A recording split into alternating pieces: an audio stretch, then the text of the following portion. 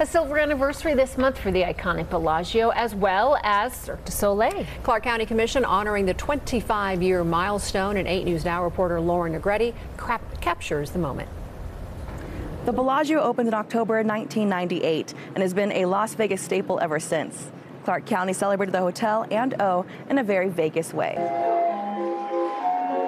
A snippet of a show for the show stopping 36 story hotel and casino and its long running O. With nearly 4,000 rooms and amenities, President and Chief Operating Officer Ann Hoff says the level of luxury didn't exist before. Bellagio redefined sophistication in the market of Las Vegas, and we paved the way for others to do the same.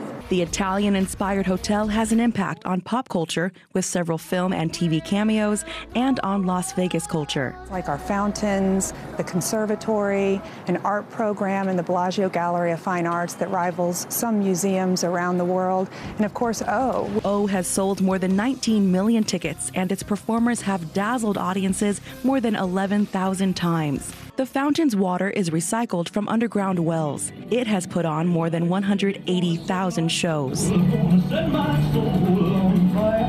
Mark Sirota has worked at the Bellagio since day one. I've never missed a day of work in 34 years. It sits there like a diamond. Nothing compares to the Bellagio. Sirota started as a butler and in food and beverage. He's now a long-standing table games floor supervisor. I am still thrilled and blessed to be there. The walls are rich with stories. As for Sirota's favorite encounter, Robin Williams. People travel far and wide. Hoff says the best is yet to come. Lauren Negrete, 8 News Now. And the Bellagio was built on the former site of the Dunes.